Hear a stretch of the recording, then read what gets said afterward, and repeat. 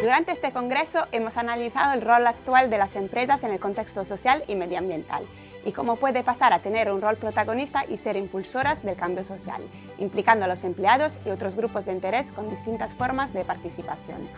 Expertos internacionales han compartido las tendencias para promover la profesionalización del voluntariado corporativo, cada vez más alineado al core business de las empresas, con más impacto y valor diferencial. Hemos reflexionado sobre la importancia de las alianzas para lograr un mayor impacto y dar paso a la visión del voluntariado corporativo en los distintos continentes. Pero no todo ha sido teoría. Hemos contado casi 50 pitches de proyectos estratégicos que pueden servir de inspiración para entidades sociales y empresas interesadas en apostar por el voluntariado.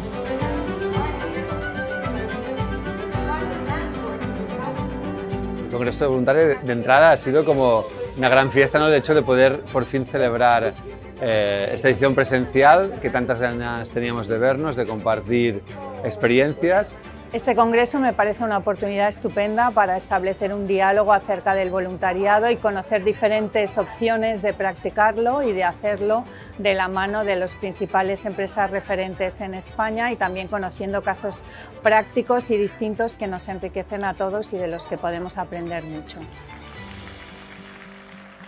Unir los líderes de hoy para subir del nivel nuestro impacto. Ese ha sido el espíritu que hemos vivido en todo el Congreso Voluntario y la clave para seguir innovando y liderar la activación social del sector empresarial. ¿Quieres saber más? Accede a todos estos debates y ponencias en nuestra Voluteca, la Biblioteca de Voluntariado. Acércate y conoce más sobre las tendencias del voluntariado corporativo en el sitio web de Voluntare.